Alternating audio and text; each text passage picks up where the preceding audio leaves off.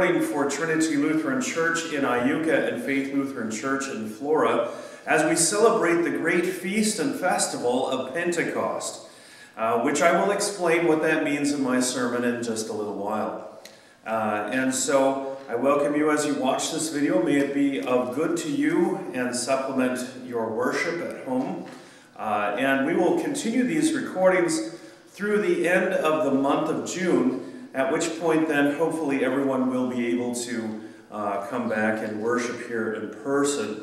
Um, in the meantime, uh, we will continue to do this. Um, so anyway, God's blessings to you during this time. All right, it is continuing to be Divine Service Setting 3 without communion. And we begin with our opening hymn, hymn 496, Holy Spirit, Light Divine.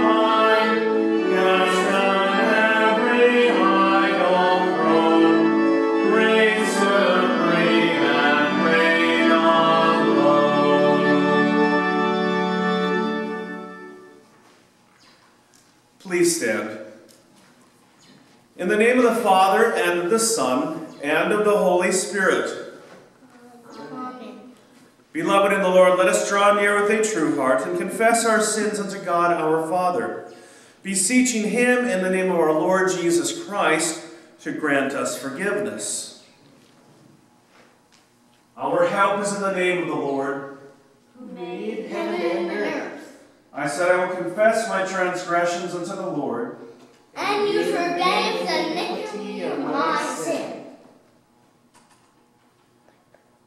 Almighty God, our Maker and Redeemer, we poor sinners confess unto you that we are by nature sinful and unclean, and that we have sinned against you by thought, word, and deed. Wherefore we flee for refuge to your infinite mercy, seeking and imploring your grace for the sake of our Lord Jesus Christ.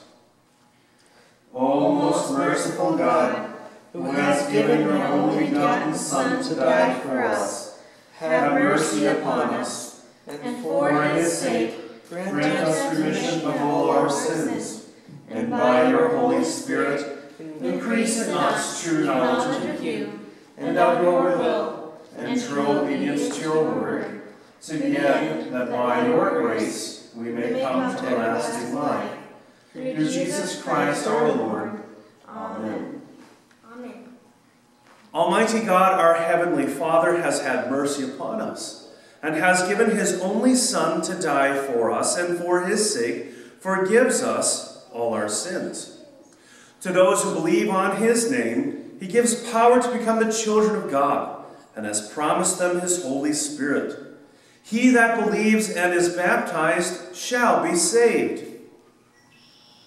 Grant this, Lord, unto us all. Amen.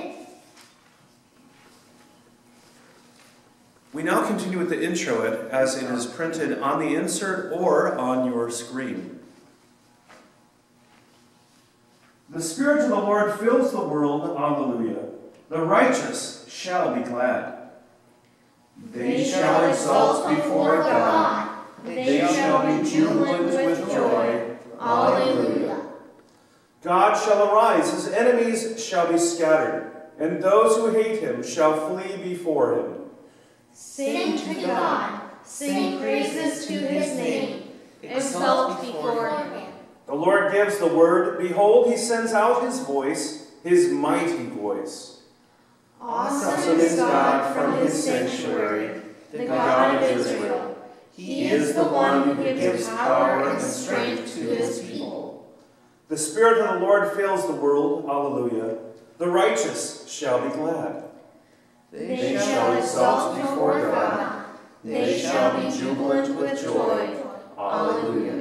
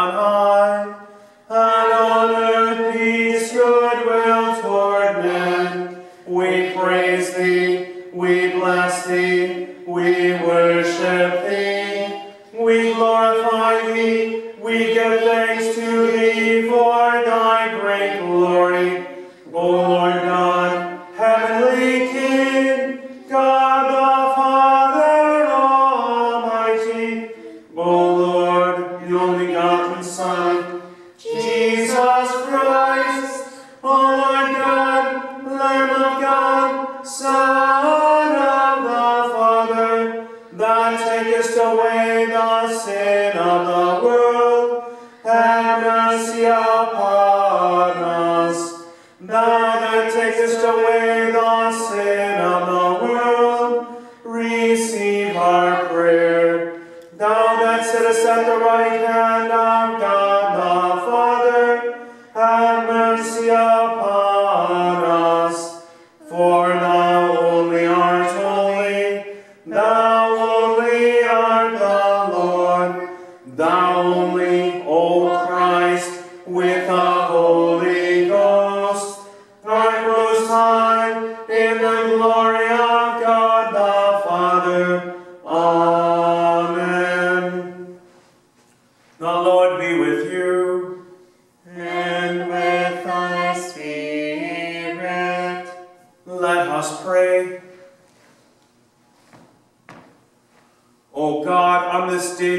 taught the hearts of your faithful people by sending them the light of your Holy Spirit. Grant us in our day, by the same Spirit, to have a right understanding in all things, and evermore to rejoice in his holy consolation. Through Jesus Christ, your Son, our Lord, who lives and reigns with you in the Holy Spirit, one God now and forever. Amen.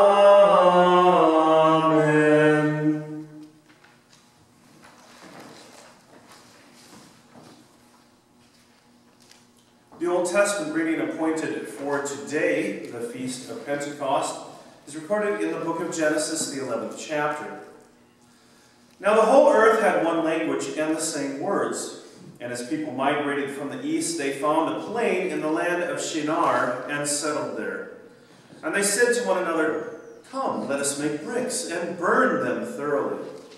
And they had brick for stone and bitumen for mortar, mortar, Then they said, Come, let us build ourselves a city and a tower with its top to the heavens, and let us make a name for ourselves, lest we be dispersed over the face of the whole earth. The Lord came down to see the city and the tower which the children of man had built.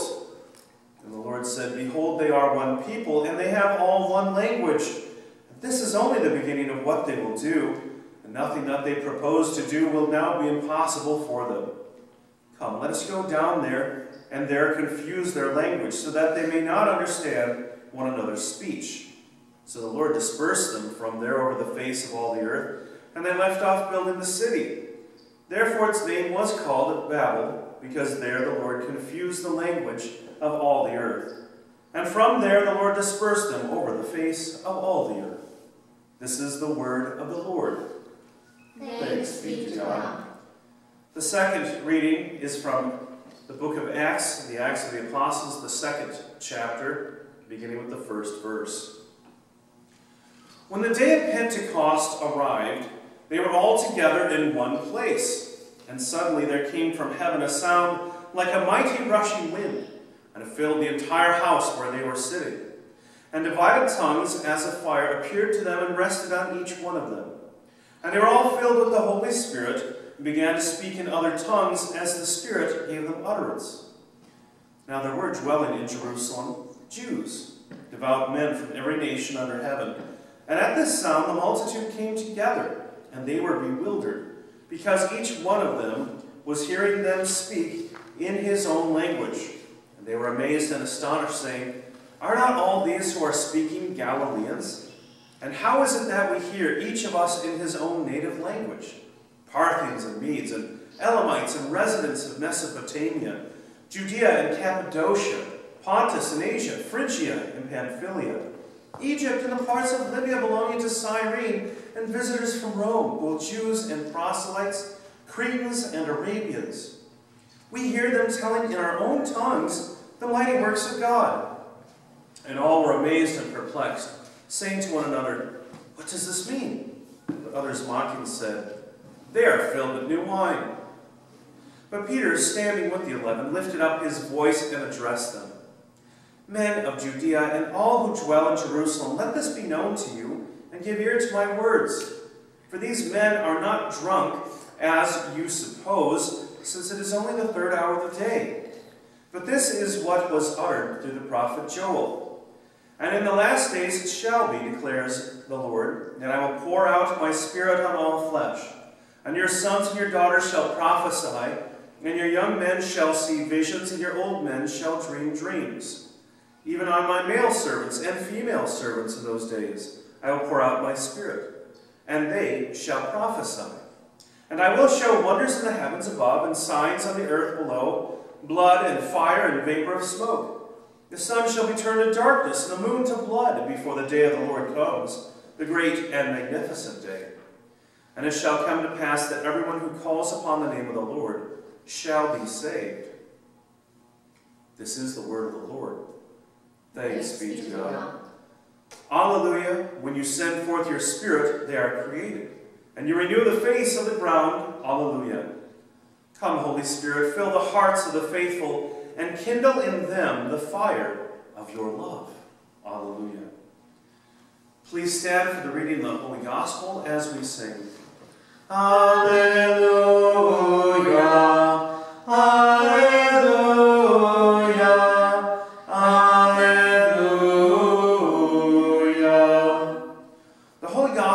To St. John, the 14th chapter. Glory be to thee, O Lord. Jesus answered, If anyone loves me, he will keep my word, and my Father will love him, and we will come to him and make our home with him. Whoever does not love me does not keep my words, and the word that you hear is not mine, but the Father's who sent me. These things I have spoken to you while I am still with you. But the Helper, the Holy Spirit, whom the Father will send in my name, he will teach you all things and bring to your remembrance all that I have said to you. Peace I leave with you. My peace I give to you. Not as the world gives do I give to you. Let not your hearts be troubled, neither let them be afraid. You heard me say to you, I'm going away, and I will come to you. If you loved me, you would have rejoiced, because I am going to the Father, for the Father is greater than I. And now I have told you before it takes place, so that when it does take place, you may believe. I will no longer talk much with you, for the ruler of this world is coming.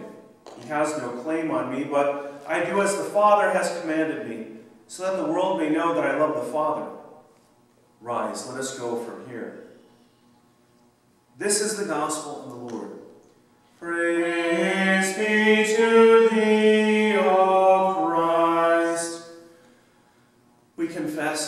faith in the words of the Apostles' Creed.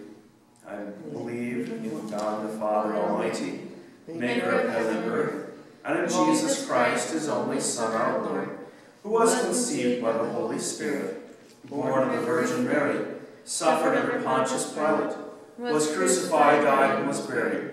He descended into hell. The third day he rose again from the dead. He ascended into heaven, and sits at the right hand of God the Father Almighty. From thence he will come to judge the living and the dead. I believe in the Holy Spirit, the holy Christian Church, the communion of saints, the forgiveness of sins, the resurrection of the body, and the life everlasting. Amen. You may be seated as we sing hymn 497, Come Holy Ghost, God and Lord.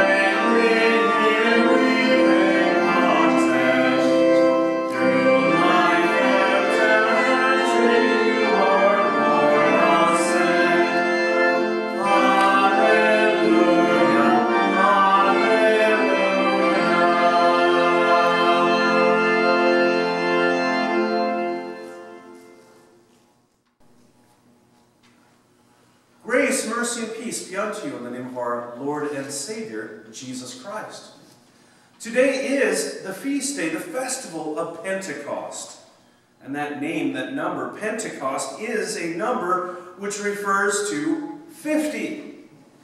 The Jews celebrated this feast day 50 days after the Passover, and it was the Feast of the Unleavened Bread as a harvest festival. The ingathering of the winter wheat, as well as the celebration of the giving of the Ten Commandments to Moses on the mountain, as was accompanied by wind and fire, is what those ancient Jews were celebrating on Pentecost. Yes, it was 50 days after the Passover from death to life in Jesus Christ, the true Passover lamb, as he died and as he rose again. And as he then comes to the harvest, that is the ingathering of his first fruits. And so on that first Christian Pentecost, 3,000 people were baptized and added to the number that disciples in just the one day. And again, in that day, there was wind and fire, just like in the day of Moses. The wind is heard, the fire is seen. And the wind is the breath of the crucified, risen, and now reigning Lord Jesus Christ, blowing out his Spirit over his church, filling it with his breath, that is his Spirit, through his words that are being given to say and to be heard. Yes, in the proclamation spoken in many of the known language and dialects of the Mediterranean world, from the very mouth of the simple Galileans who had never taken a language course before, was heard by the people gathered for the celebration of that ingathering of the first harvest, the good news of Jesus, so that then they could be gathered by repentance and faith to the triune God. Yes, and there was fire. Tongues of fire, which were seen resting on each of those 120 gathered disciples. John the Baptizer had said, I baptize you with water, but the one who is coming, who is greater than I, whose sandals I am not worthy to untie, he will baptize you with the Holy Spirit and with fire. So here at Pentecost was the completion of their baptism with the promised fire of the Holy Spirit. This sign of fire is in this case, a sign of God's presence. It is a sign of his speaking. And as the Jews were celebrating on Pentecost, it goes back to Moses. But it goes back also to Moses and the burning bush on the mountain of the Lord, where there Christ, in his pre-incarnate presence, appeared to Moses in a bush that was on fire, but did not burn up. There, God called Moses to speak for him in order to deliver his people from bondage. So also did he do the same at Pentecost. Tongues of fire rested on each one of the believers without burning a hair on their head, a visible sign of the presence of the Holy Spirit, and that God was about to be and was in fact speaking that God had been and was calling them to witness, even as they then immediately spoke in tongues, that is, in languages, as the Spirit enabled them. So Peter explained this as he even confessed Jesus Christ, quoting from the prophet Joel. Remember, this is the same Peter who denied Jesus three times just 53, 54 days earlier out of fear. Now here, Peter speaks openly and boldly to thousands. What is it that changed Peter? Two things. He had seen the risen Lord and Savior, Jesus Christ. And now he had the gift of the Holy Spirit, and with him came understanding and confidence. These are the last days, Peter said, quoting Joel when God will pour out his Spirit upon all flesh. The last days are Holy Spirit days. And so, from this point on, after Pentecost, begins the time of the Holy Spirit, the time of the church. What began with the Father who sent his Son, born in the flesh at Christmas, continued through his Son, through Holy Week, as he paid for sin by his death on the cross, to show death's overthrow, then in his resurrection. And so now the Lord, Father, Son, and Holy Spirit carries on the work of salvation, the work of salvation from sin's bondage and slavery, now by the sending of the Holy Spirit at Pentecost to gather together the church. Yes, this is the same Holy Spirit who also raised up the dry bones of Israel in Ezekiel. Can these bones live? Is the question. And the answer, of course, is indeed, they can. With the word and the breath of God blowing upon them, they can. So the Spirit breathes life wherever and whenever He blows like the wind, but with power and life. Yes, just like the wind, you can't see the wind, but you can hear it sometimes, and you certainly can see its effects.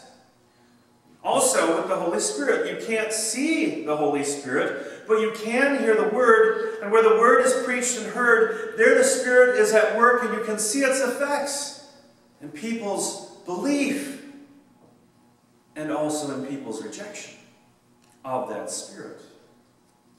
So it is with Pentecost. The wind, the tongues of fire, the miracles of languages were, in a way, the church's great grand opening the balloon and fireworks that marked the public opening of Christ's end times embassy here on earth. That's what the church is.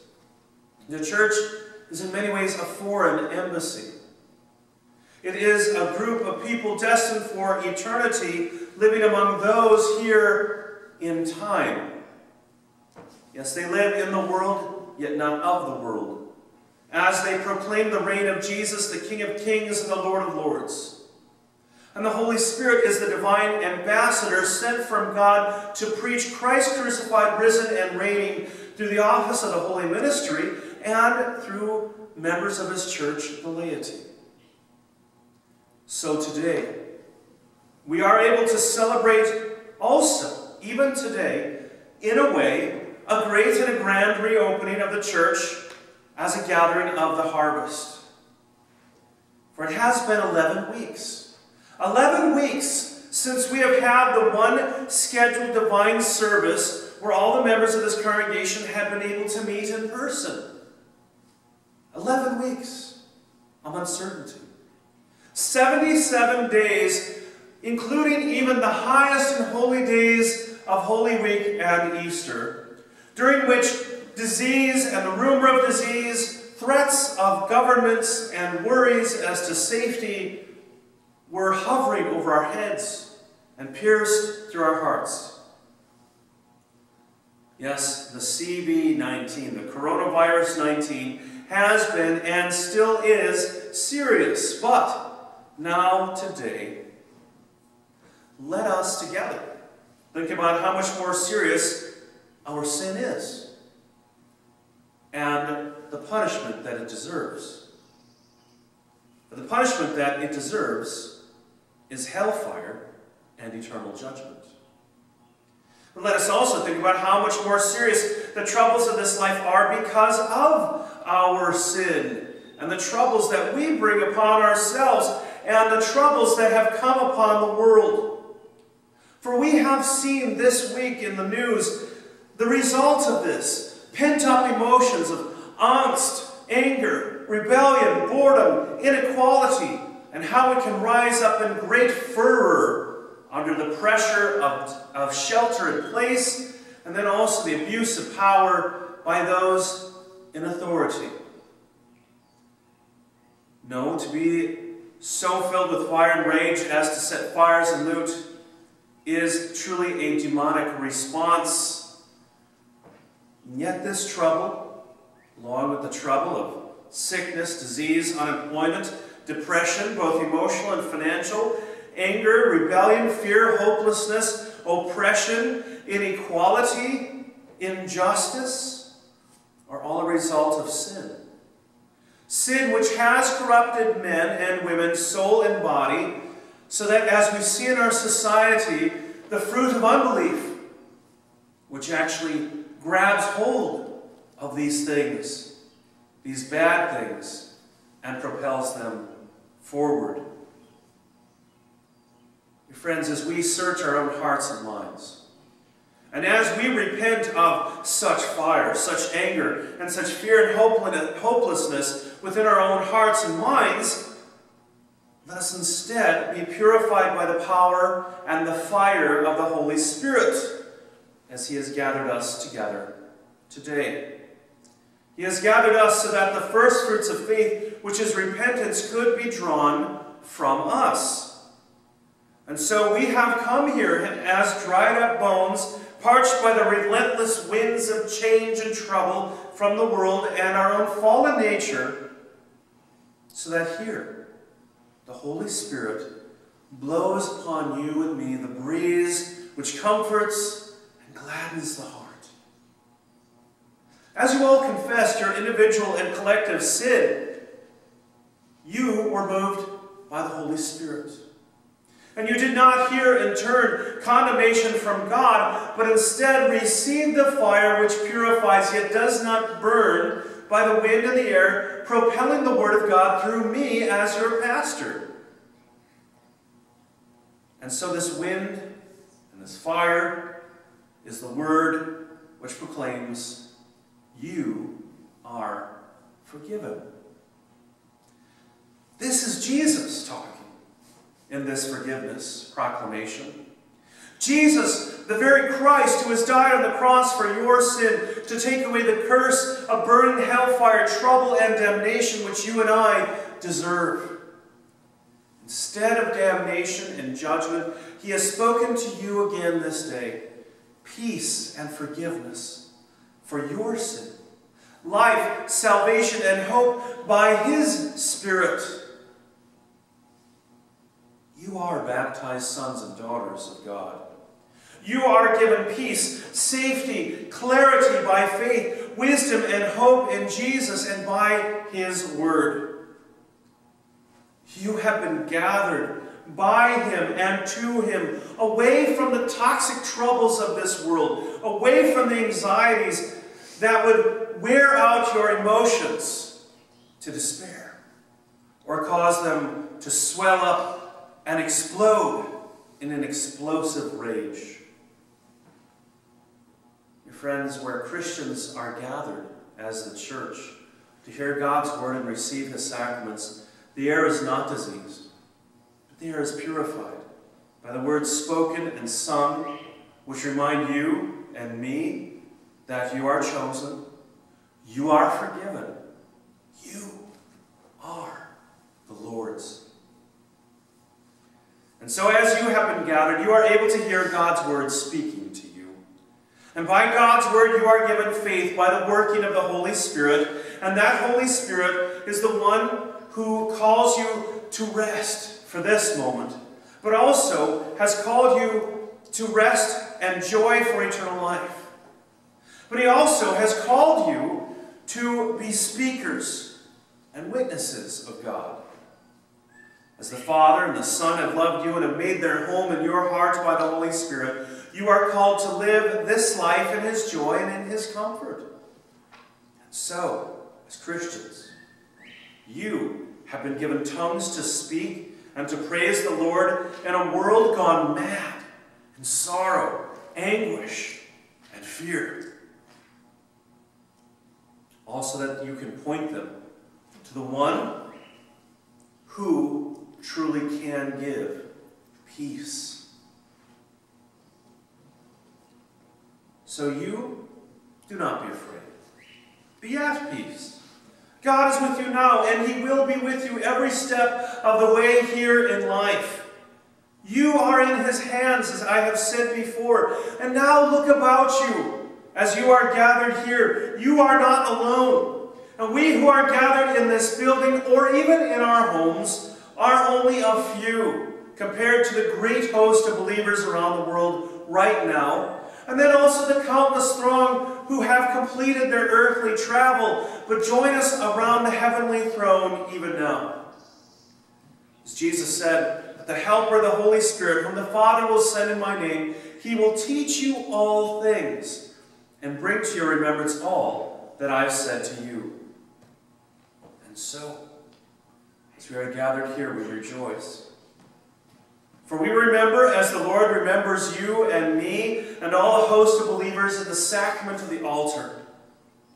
And so be refreshed each and every time you can by Christ's body and blood to receive it for your good, to be made ready, to be made ready to speak, ready to live every day in His joy, looking forward to the glory that is yet to come. Remember, we are just living in this world we are not of this world. And so, what a joyous thing it is to be here together where the wind is heard and the fire is truly seen. The wind is the breath of the crucified, risen, and now reigning Lord Jesus blowing out over his church, filling it with his breath, that is his spirit and his words, as we heard. And the fire is faith. And its first fruits are repentance and our singing his praises by faith. He does this here in Iuka and Flora, wherever his word is preached. Because as Jesus said, Peace I leave with you. My peace I give to you. Not as the world gives do I give to you. Let not your hearts be troubled. Neither let them be afraid. You heard me say to you, I'm going away, and I will come to you. And so he has come to you. He has come to you to fill you with his peace and his joy. And he will come again at the greatest of all Pentecosts, that great and powerful day when he shall come and gather all of us, his church, and all believers at the great harvest feast as he brings us to be with himself Father, Son, and Holy Spirit in the fulfillment of his salvation and his love for all eternity. Courage. Courage to us all. Through Jesus Christ. Amen. Now may the peace of God, which passes all human understanding, keep your hearts and minds through faith in Jesus Christ. Let us now stand to sing the offertory. Create in me a clean heart,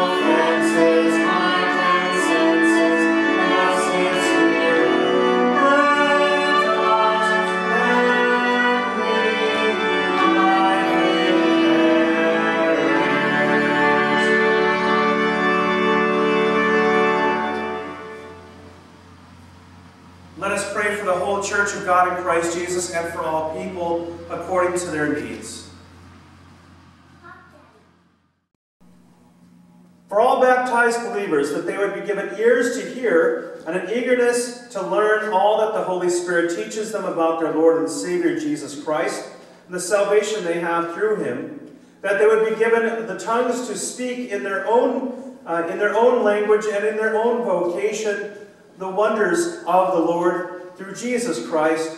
Let us pray to the Lord. Lord, Lord have mercy. For spiritual renewal in our congregation, district, synod, and the whole church on earth, that by God's grace and the power of the Holy Spirit, we would long to keep Christ's word to continue to dwell in his peace, to sing God's praises and love our neighbors in all boldness, let us pray to the Lord.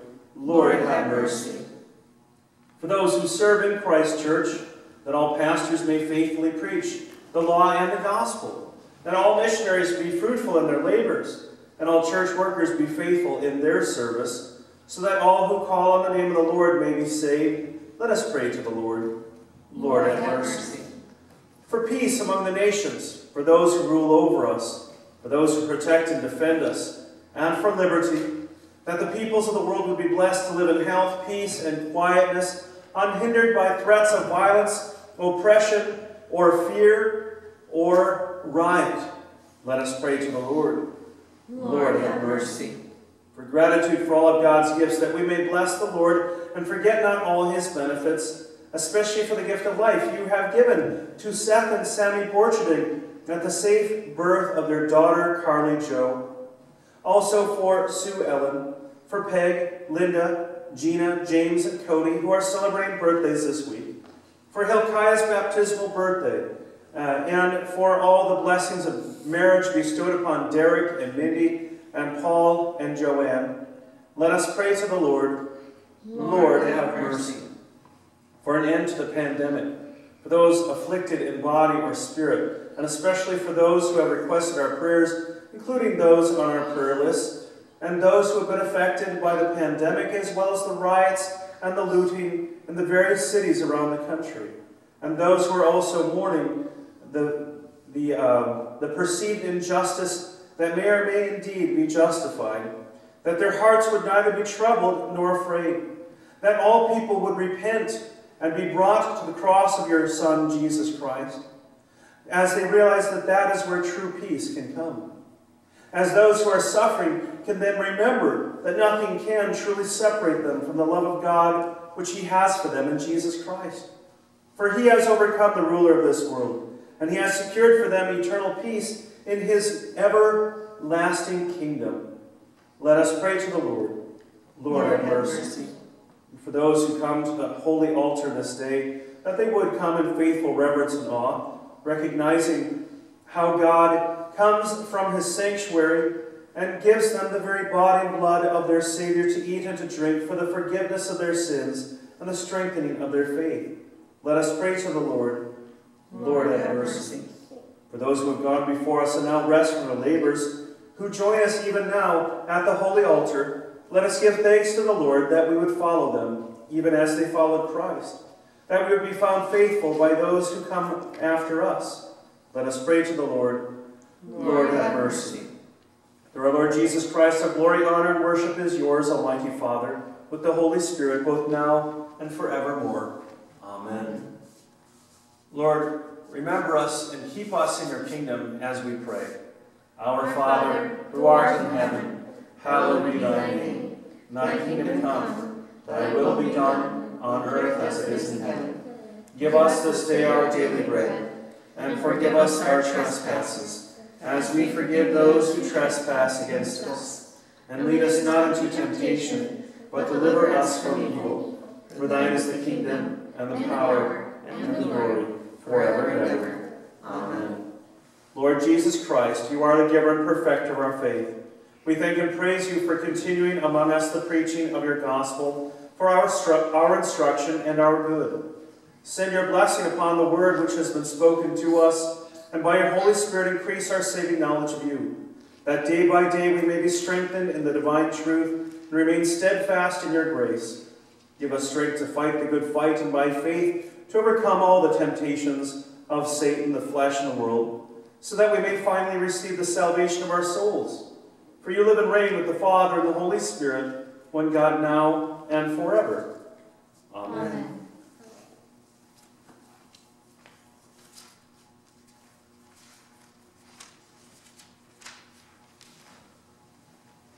The Lord be with you. And with thy spirit. Bless we the Lord.